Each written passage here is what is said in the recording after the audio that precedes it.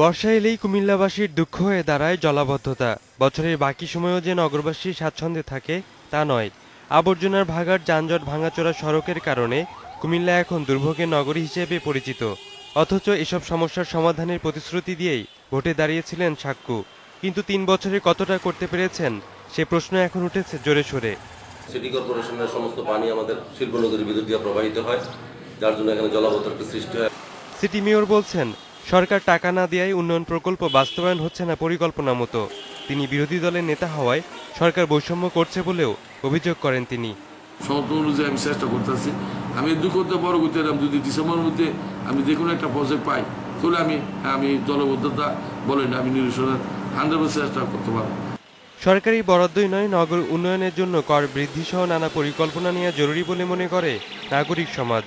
যতটা মনোযোগী হওয়ার দরকার ছিল, যতটা গুরুত্ব দেওয়ার দরকার ছিল, এবং বিষয়গুলো যতটা শক্তভাবে নিয়ন্ত্রণ করবার দরকার ছিল, সেই জায়গাটা অনেকটা দুর্বলতা রয়ে গেছে।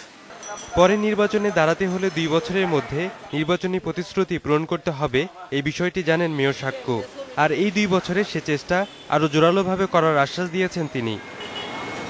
Rakib Khan, independent news.